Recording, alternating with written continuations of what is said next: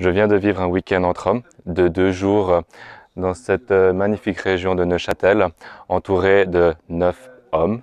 qui avons partagé entre tous une expérience unique sur la sexualité de l'homme. Et cela a eu un impact énorme sur moi. La sexualité est un thème énorme qui ne sait pas que focaliser sur le sexe, mais ce que cela englobait et sur tout ce que cela englobait par rapport à nos vies, nos peurs, nos craintes et euh, nos désirs d'aller plus loin. J'avais voulu, j'avais voulu en m'inscrivant ici, euh,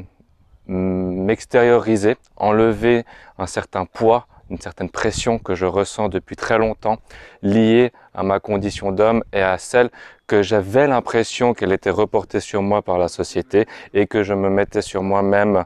comme pression pour prouver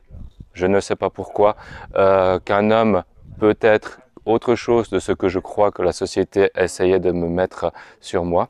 Et de là, j'ai pu partager, échanger et vraiment écouter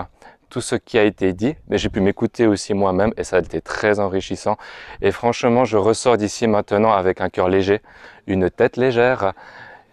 des organes génitaux très légers et je peux le conseiller à n'importe qui.